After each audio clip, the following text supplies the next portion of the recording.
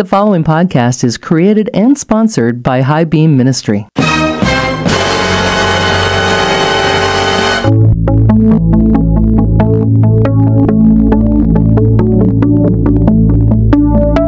That the Bible is supernatural. I believe that God is supernatural. He is still a God of miracles. Jesus Christ still works in and around us in miraculous ways. Mm-hmm. And I think that the world wants us to forget about those kinds of things. I think the world wants to undermine the Bible. Satan wants to undermine the Bible so that we have doubts as Christians. And he wants us to no longer trust that the Bible is being absolutely true. But I believe that the Bible is absolutely true. Jesus is talking to the disciples on the Mount of Olives. It's called the Olivet Discourse. And in Matthew 24, Jesus answers their question about when is all this going to happen? All of the prophesied uh, events of the Old Testament. And what is going to be the sign of your coming? They ask him a couple of questions. And Jesus answered and said unto them, Take heed that no man deceive you.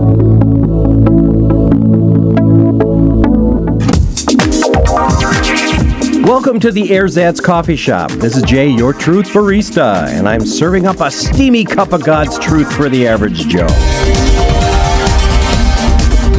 You can catch me and this podcast on my websites, truthbarista.com, all one word, truthbarista.com, and highbeamministry.com. That's H I G H B E A M ministry.com, as in car high beam. We're shining the light of God's truth on the road ahead.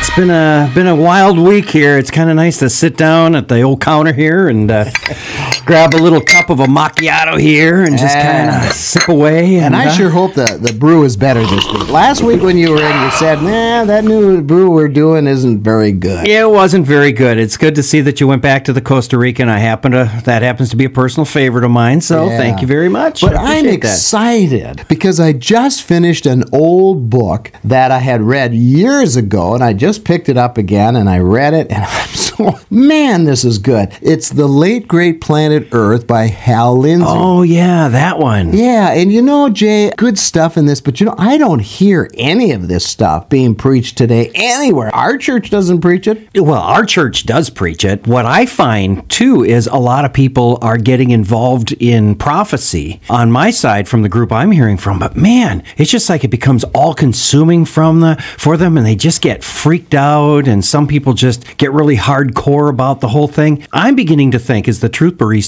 we need to talk about prophecy. We need to we need to come face to face with it. You can't ignore it. And I don't think you can so immerse yourself into it and then become so dogmatic about it that you start scaring people off or start looking like a conspiracy theory. Well, person. and that is the two extremes, right? You hear nothing of it from most pulpits, or you got the other extreme where my point of view on God's prophecy is the only point of view, and if you don't believe in it the way I believe in it, I question your salvation. So those are the extremes that are out there. Right, And in the middle is nowhere. So we need to help, as you say, the ordinary person figure out what is prophecy all about. So what is it? Well, a prophecy is a major part of Bible material. That's something that you just see right away when you start reading through the whole Bible. And this is a key too, Larry. I mean, people have got to read the Bible from front to back. And when they do, they realize that there is a vast amount of scripture that came to individuals through the direct inspiration of the Holy Spirit. And a lot of this is prophecy. So, well, first of all, where did it come from? First of all, it says in 1 Peter, we should know this that no prophecy of Scripture comes from one's own interpretation, because no prophecy ever came by the will of man. Instead, men spoke from God as they were moved by the Holy Spirit. And this is a cornerstone of prophecy. Prophecy doesn't come from somebody's heart and mind alone, it comes through them by the inspiration of the Holy Spirit. That's what makes it a prophecy. But you're basically talking about the prophecy that's written down in the Bible. What Right. about prophecies that people say the Lord told me, and then their own interpretation of something that I think they call it a rhema word? Right, a prophetic word. There is room for that. The Bible definitely talks about it. That is a truth. And they said, in fact, even Joel says, in the last days, that people will prophesy under the inspiration of the Holy Spirit. Now, we're not talking rewriting the Bible. We're talking a person being inspired by the Holy Spirit with a thought or an idea, uh, and it can come out as an encouragement or one of those things. But we're not talking about inspired scripture. They're two related, but two separate things.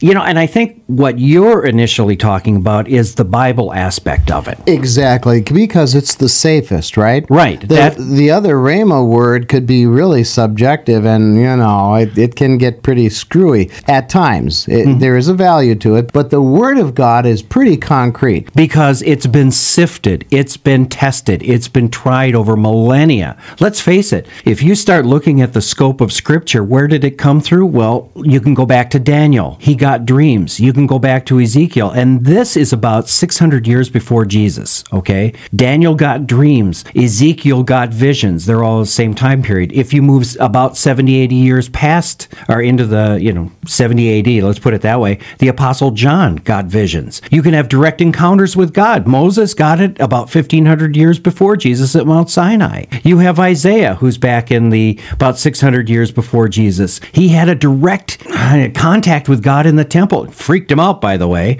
You can have life interactions. This is a really cool one. If you read Jeremiah, an example is God tells Jeremiah to take a belt and to hide it under a rock near a river. And then when Jeremiah pulls the belt out, he finds out later that it's spoiled. And then God inspires him with a prophetic word based on a life experience.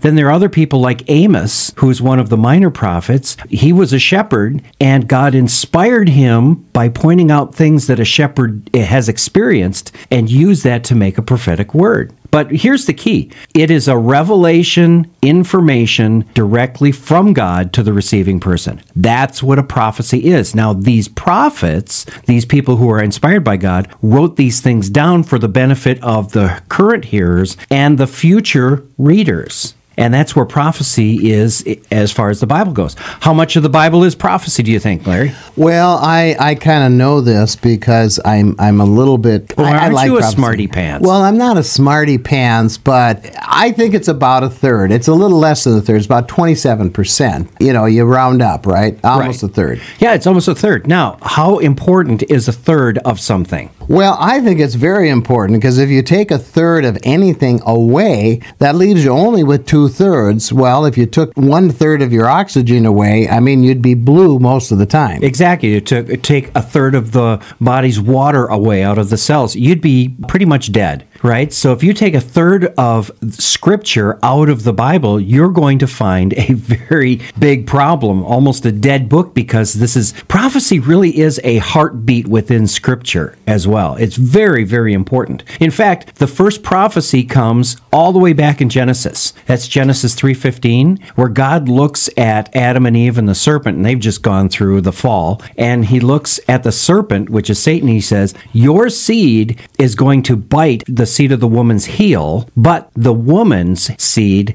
will crush your head by his heel. That is a very clear prophecy when compared with Jesus' life that Satan may hit him in the heel and wound him, but Jesus will turn around and ultimately crush Satan by destroying his head. There's a difference between a head and a heel. You're talking about the conquering or the victory of Calvary. That's it. That's the At crushing. cross. okay, that's the crushing of the Satan. Okay. Now, once again, there's two things. Some prophecies have a single fulfillment, some prophecies have a double fulfillment, and you can even find some prophecies that are going to have a triple fulfillment. We'll get into that in a little bit when, you know, when we talk about I'm going to answer some of your questions regarding how to approach prophecy here, but when you're talking about Jesus' victory at the cross, Satan certainly wounded his heel, but did Jesus crush his head at the cross? Satan is still active in the world today. So that crushing aspect is coming at the end. And by the way, here's the last scripture in prophecy is Revelation 22 20. It's the second to last verse in the Bible where Jesus says, Behold, I come quickly. And what's going to happen when Jesus comes quickly?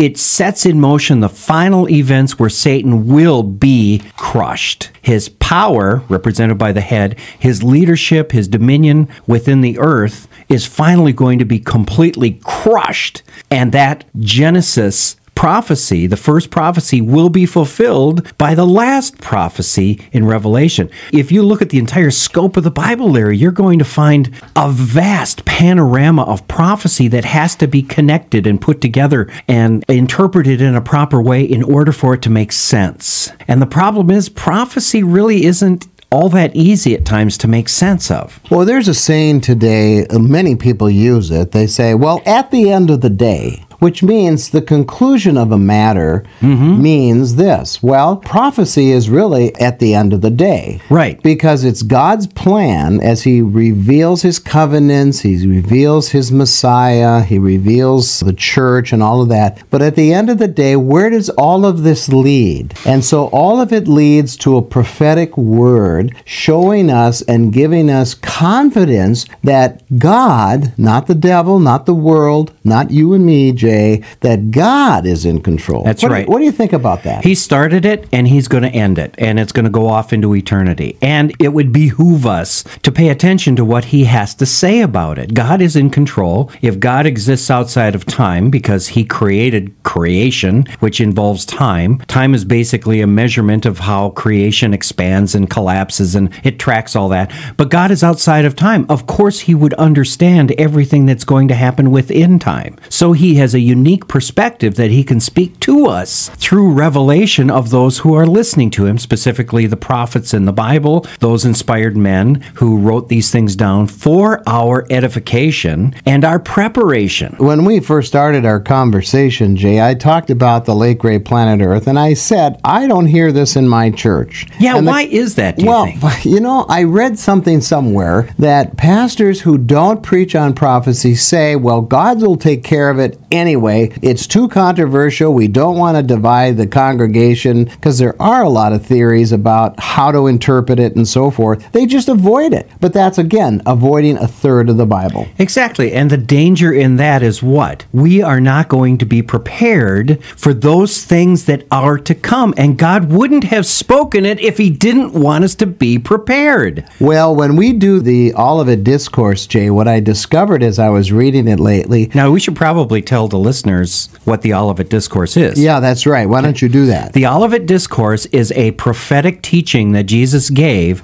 sitting on the Mount of Olives across the valley from Old Jerusalem. And during this Olivet Discourse, he was unfolding for his disciples what was going to be happening in the near future and the end of time and some of the events that were going to unfold between those two points. And it is a very fascinating bit of scripture. And I think it would be fun for you and I in some next programs to kind of walk through that and kind of share with our listeners the examples of how to approach prophecy and how to pull it apart and how to accurately understand it. As I was saying when I was reading the Olivet Discourse, the part that Jesus said that the last days prior to his return will be like the days of Noah. Mm-hmm. Now, there's a lot of things we could say about the days of Noah, but there are two words that come out of that. One is unprepared. The people Right. were unprepared. And secondly, they were totally unaware. Yep. Because they were unaware, they were unprepared, and you know, of course the flood came. But that's how God said we would be, the world would be at the last day. So if we don't preach prophecy, we're totally letting people be unaware and unprepared. Exactly right. And there are things that are very clear in Scripture that are going to happen as indicators just before Jesus returns. And that's why I think we should go through the Olivet Discourse in the next couple programs because there are indicators right now of prophecy, Bible prophecy being fulfilled and having been fulfilled that clearly indicate where we are in a prophetic timeline.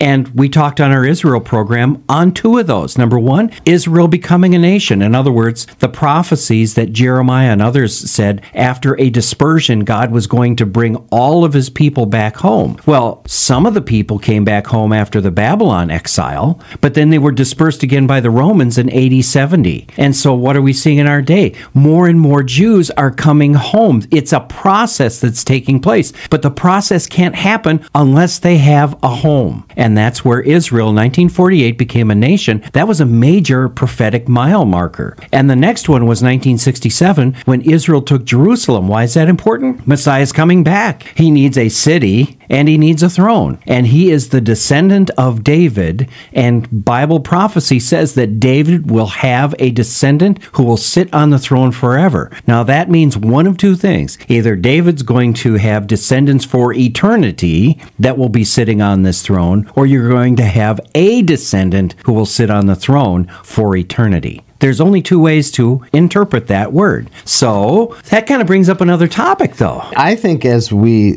talk about, we're kind of prophesying ourselves here. In future programs, we're going to talk about the God willing. God willing. yeah, there you go. So to lay the groundwork, how should we approach Bible prophecy? Okay, it's very, very simple. Number one, you got to read it. You can't work with prophecy if you don't know what it is. So if you're not involved in the Bible, don't pick up your prophetic understanding by osmosis. You can't sit around and just take somebody's word for it because they may not be on track. In fact, I like the Bereans in the book of Acts. Paul came and he literally unlocked prophecy and showed them that Jesus was the fulfillment of the messianic prophecies for Israel. What did the Bereans do?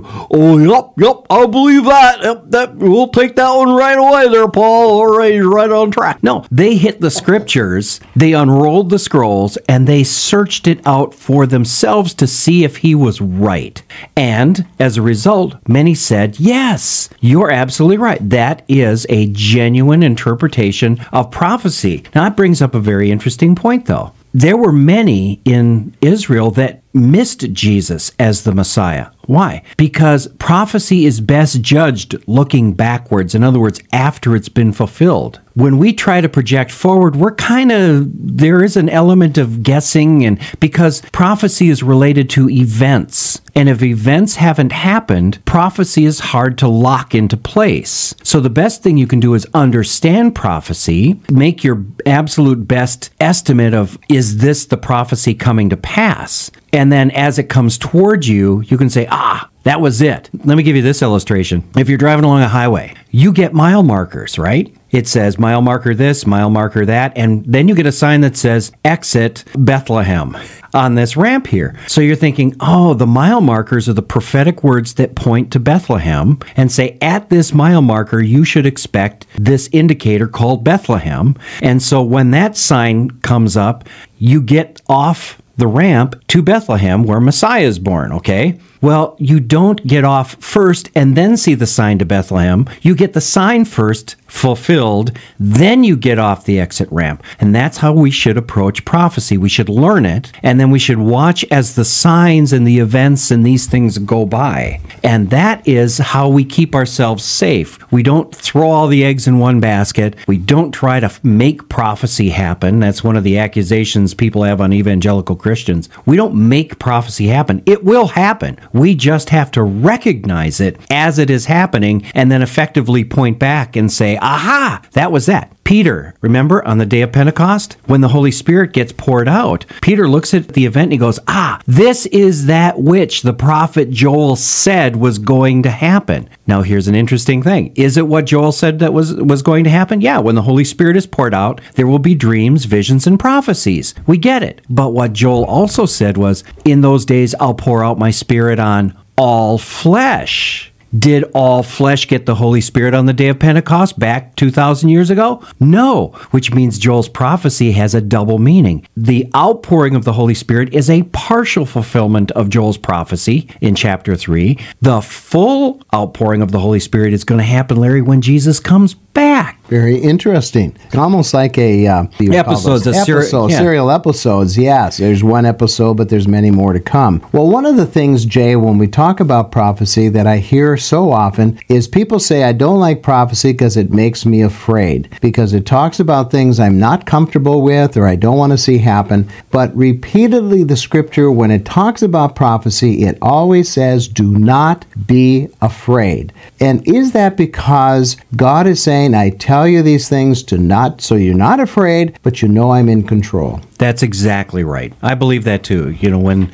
and Jesus will say it when we look at it at the uh, Olivet Discourse. He goes, I'm telling you this ahead of time so that you will be prepared, that you should not be afraid. And that's the point. And by the way, Paul talks about it too, that prophecy is there for the strengthening, encouragement, and comfort of the saints. Now, Paul's talking about prophetic words, but the same thing applies to biblical prophecy. It's not there to scare you into a heart attack. That's going to come from just world events anyway, you know.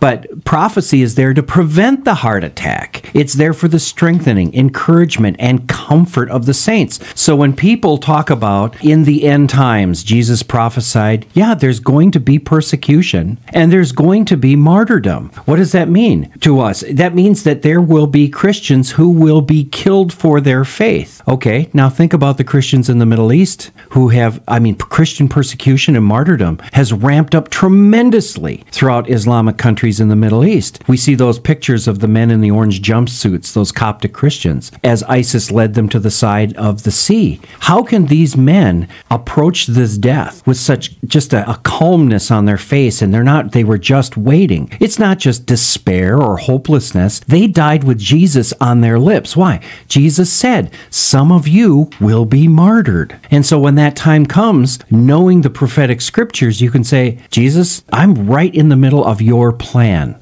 And Jesus also said, And behold, I will be with you even to the end of the age. And so, as these men were being martyred right there, they no doubt had a peace and they had a strength and they went to their martyrdom, realizing Jesus has also prophesied when you get martyred, you're even going to have a special place with me because you stood firm in the face of your death. Isn't that great? I got to get back to the kitchen here. Yeah, yeah, yeah, it's getting a so. little busier let, what is the proper approach? Let's let's just quickly take a quick peek at a proper approach to prophecy. Okay, really, really, really quick. First of all, you got to read it. Second of all, you have to look backwards at it as it passes. We talked about this, but we have to understand the principles of interpreting prophecy. If you can learn the original language, that'd be great, Larry, but not a lot of people have time to sit there and study the Hebrew or the Greek. But there are plenty of tools out there that have already done that for you. So you can use those. They're online, BibleStudyTools.com, various Bible programs. So get the original language, use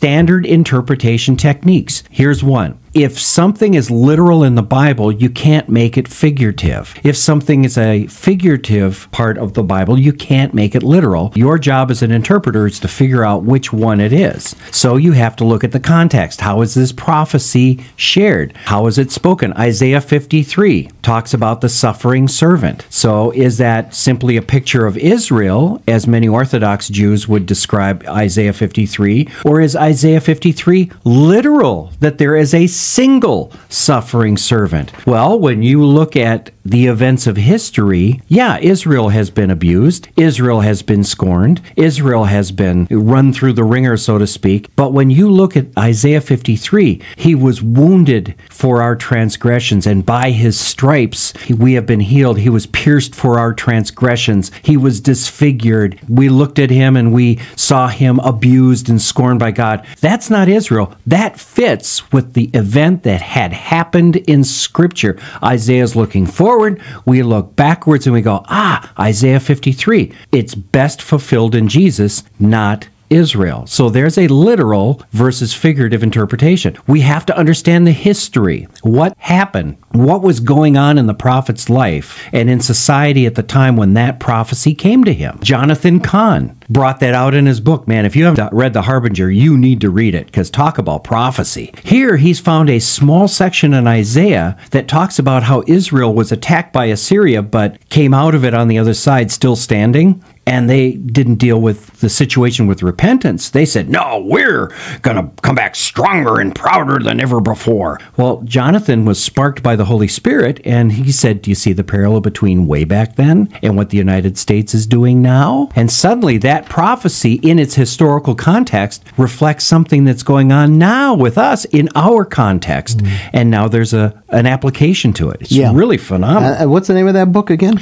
It's called The Harbinger by Jonathan. Jonathan Jonathan. Yep. C A H N. C A H N. Right. Okay. And finally, once you've got the idea of the prophecy as it was given to the prophet in his day, now the trick comes pulling it forward. What does that say to us? Is this something that has been fulfilled? Is it something being fulfilled? Or is it something we have to sit and wait for it to be fulfilled? And so getting those some of those basic things down will really help you handle biblical prophecy. And by the way, there are some really good authors out there and some really good pastors and teachers who teach on this from a very balanced perspective. Avoid the ones who are sensational and avoid the ones who poo poo prophecy that just kind of say, well, you know, I'm a pan millennialist. What does that mean? It'll all pan out in the end.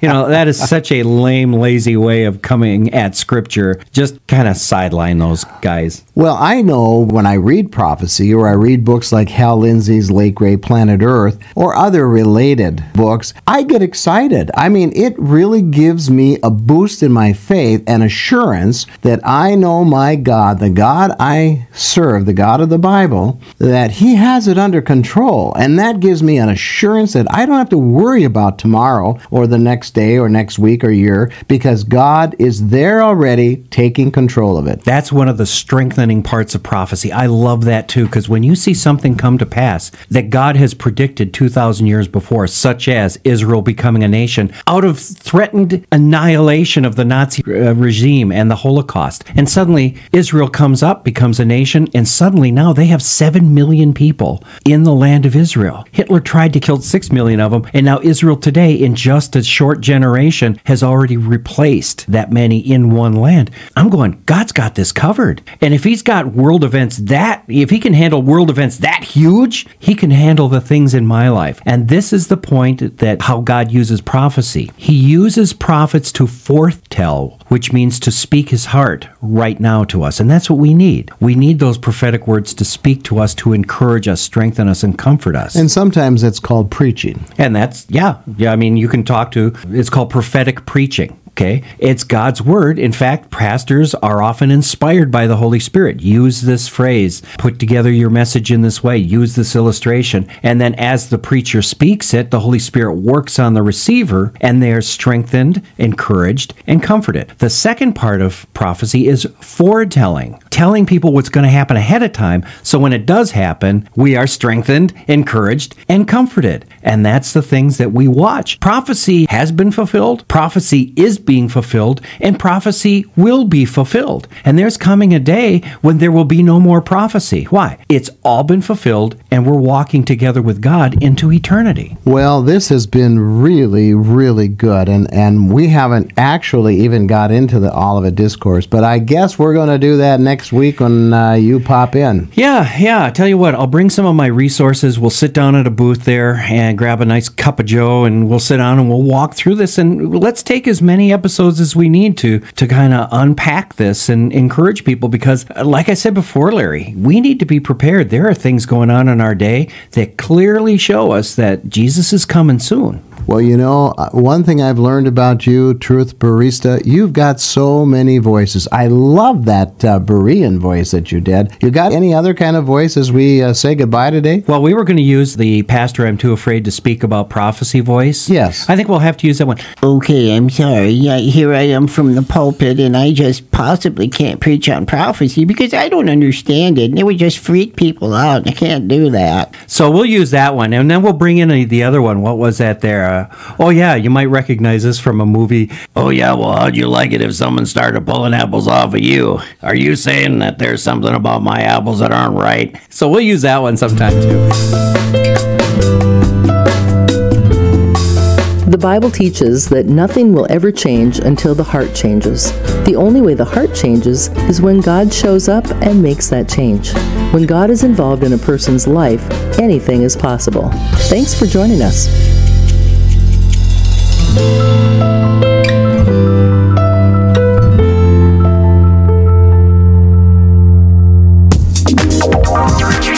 This is Jay, your Truth Barista. Thanks for listening to the Truth Barista podcast. The best way to find out when a new podcast drops is through RSS feed. Go to our website, look for the RSS button, press it, and then enter your email. You'll be notified when a new podcast drops. Thanks for listening.